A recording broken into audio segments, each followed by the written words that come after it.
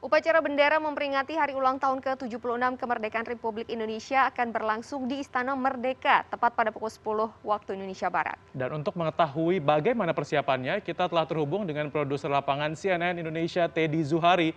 Selamat pagi, Teddy. Ini seperti apa persiapan jelang upacara kemerdekaan di sana? Selamat pagi Anita, Rizky, betul sekali pagi. Sebenarnya sejak uh, subuh tadi persiapan yang dilakukan oleh petugas yang akan mendukung lancarnya acara detik-detik proklamasi RI tahun ini. Ini sudah mulai terlihat.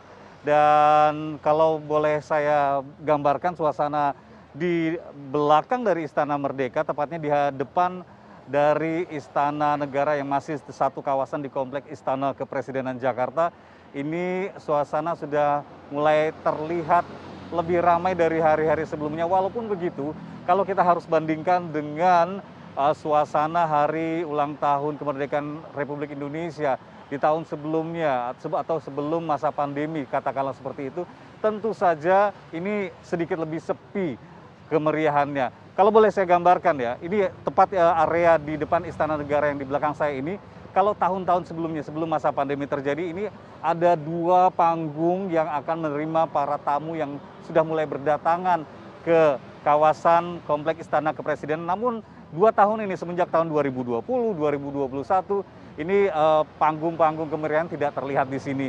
Boleh mungkin kamera me mengambil suasana gambar di halaman Istana Negara ini. Hanya ada satu backdrop yang bertuliskan Indonesia Tangguh, Indonesia Tumbuh ulang tahun RI ke-76 di halaman dari Istana Negara ini. Jadi tidak begitu terlihat kemeriahan, tidak ada pernak-pernik misalnya panggung dan atraksi kesenian yang biasanya memang dihadirkan. Dan kalau saya boleh sedikit gambarkan memang ada hal yang menarik kalau di tahun-tahun sebelumnya ini mobil uh, kepresidenan, uh, mobil RI 1 ini selalu menjadi objek Eh, foto bersama bagi para tamu undangan yang datang ikut hadir secara fisik pada tahun-tahun sebelumnya. Namun tahun ini eh, akan ada dipamerkan tiga mobil kepresidenan RI di era kepemimpinan Soekarno dan Soeharto. Itu nanti akan saya ceritakan sendiri ya, eh, Anita Mae dan juga Rizky.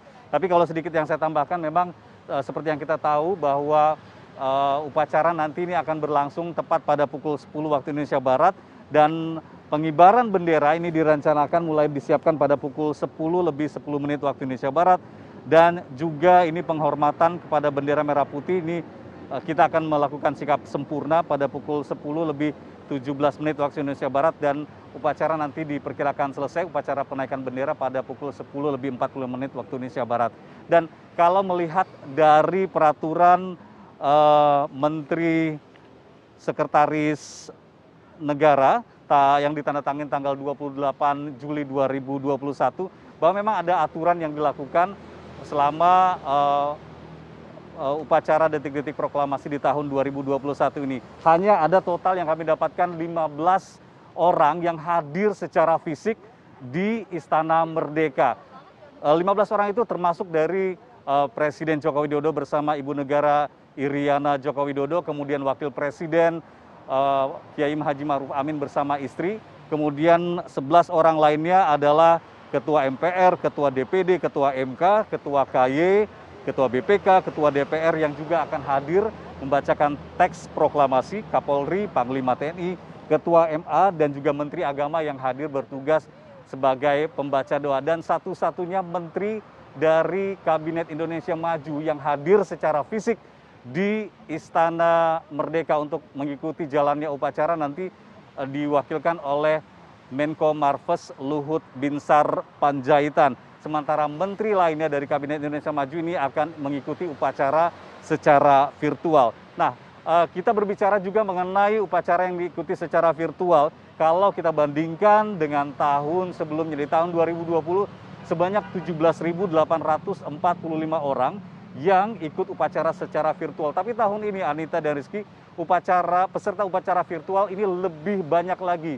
Sebanyak 45 ribu total peserta upacara live yang sudah mendaftar di melalui website dan juga akan dibagi uh, menjadi dua. Pagi pada pagi hari ini pesertanya sebanyak uh, 35 ribu orang dan pada sore hari pada penurunan bendera nanti peserta upacara virtual sebanyak 15 ribu orang. Sebelumnya mereka para para peserta upacara virtual ini melakukan pendaftaran di pandang.istanapresiden.go.id.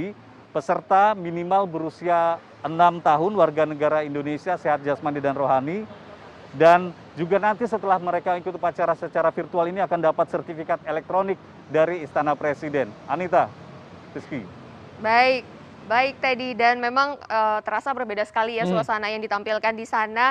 Tapi tentunya kita masih bisa menyaksikan secara virtual betul. begitu. Nanti jam Baik, 10 ya. Betul nanti di jam 10 waktu Indonesia Barat. Baik Teddy, selamat bertugas kembali dan terima kasih atas laporan Anda.